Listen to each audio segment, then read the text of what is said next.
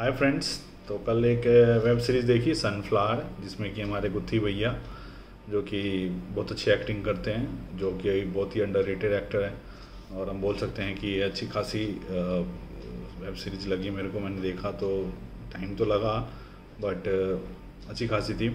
जिसमें कि एक अश्विन अश्विन कौशल, जो कि राज कपूर का रोल कर रहे हैं, जो कि सनफ्लावर सोसाइटी में रहते हैं, वो अपनी सोसाइटी में मरे हुए पाते हैं और उसके बाद उनकी इन्वेस्टिगेशन चलती है, जिसमें कि दो पुलिस वालों का रोल बहुत अच्छा निभा रखे हैं दोनों पुलिस वालों ने।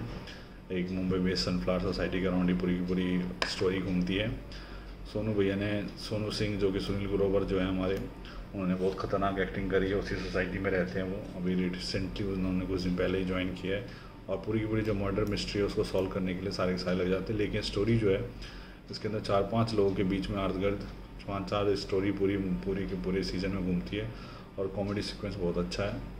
तो अगर मैं बोलूँ आपको तो कैसी है, देखने के लायक, बहुत अच्छी है।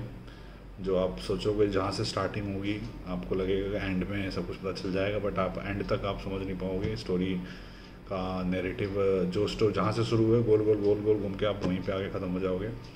वहीं पे आके फिर लटक जाओगे लास्ट में भी इतने अच्छे से स्टोरी को चला रखा है डायरेक्शन बहुत अच्छा है बैकग्राउंड म्यूज़िक बहुत अच्छा है। और सोनील ग्रोवर ने बहुत अच्छी एक्टिंग करी है, भाई गजब की एक्टिंग करी है। और वो जो दो पुलिस वाले हैं, पुलिस इंस्पेक्टर रणवीर सोरे और जो नॉन नॉनसेंस कैप है, गिरीश कुलकर्णी, दोनों के दोनों बहुत अच्छे एक्टिंग करके बैठे हुए हैं। साइड के उन्होंने अच्छा खासा रोल दिया गिरीश कुलकर्णी जब भी स्क्रीन टाइम पे आ रहे हैं, उन्होंने अपना पूरा टाइम लिया बढ़िया से। और बहुत अच्छा रोल है। तो बहुत अच्छी सीरीज़ है, आप जाके देखो।